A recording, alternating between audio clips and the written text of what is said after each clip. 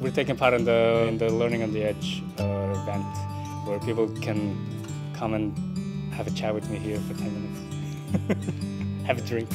It's almost like uh, kind of this art speed dating thing.